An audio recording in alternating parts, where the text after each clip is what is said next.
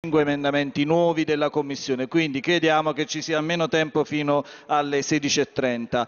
E, eh, inoltre, eh, inoltre vorremmo capire se è cambiato la, la dinamica dei tempi assegnati ai gruppi, perché sempre dallo speech ho, sen ho sentito? Ho sentito che è stato dato un terzo eh, aggiuntivo a, a, a, tutti i gruppi e non, non più come prima che c'era un, un, un, un minuto per ogni emendamento. Vorrei avere dei chiarimenti su questo punto. Allora, onorevole Gallo, un terzo è stato dato non ai gruppi ma al misto, la componente PSI-PLI, che ha esaurito il tempo e quindi, come da prassi, si è dato un terzo. Per quanto riguarda il termine per i subemendamenti, gli uffici hanno comunicato ai gruppi questo termine alle 3 meno 10, quindi è diciamo, un termine che risulta comunque congruo.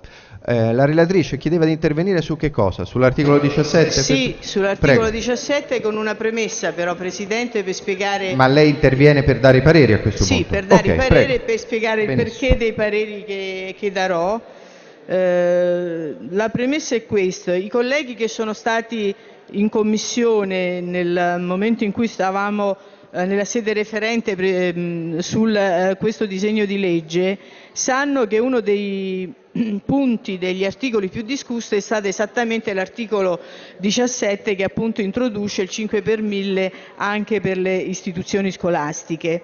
Eh, nel corso della discussione in Commissione noi eh, siamo riusciti ad affrontare alcuni problemi, ma altri sono rimasti aperti. In primo luogo il problema che avevamo eh, risolto era stato quello di affermare il eh, principio che eh, il 5 per 1000 destinato alle istituzioni scolastiche non dovesse entrare in competizione con il 5 per 1000